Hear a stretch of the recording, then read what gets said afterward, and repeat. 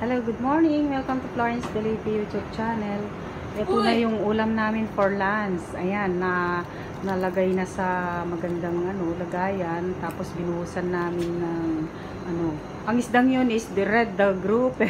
Red garuper and red black garuper and black garuper. So nilagyan namin siya ng ah, corn, ano ba yan? Sweet corn, Corn kernel. cream fish ang tawag dito. corn cream, Cream fish. fish.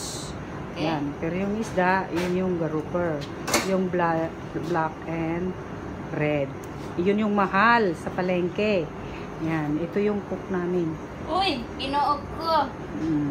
Pero ako ang ano, Siya ang chef dito. Ako nakiano lang. siya yung ano, nagluto. Ayan. Siya ang chef Ang ganda, today. oh. Maswerte yung mga nasa Biton House dito sa Mission for Migrant.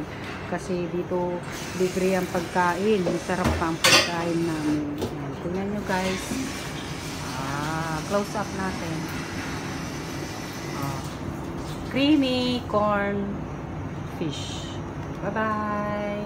Tikman na natin guys.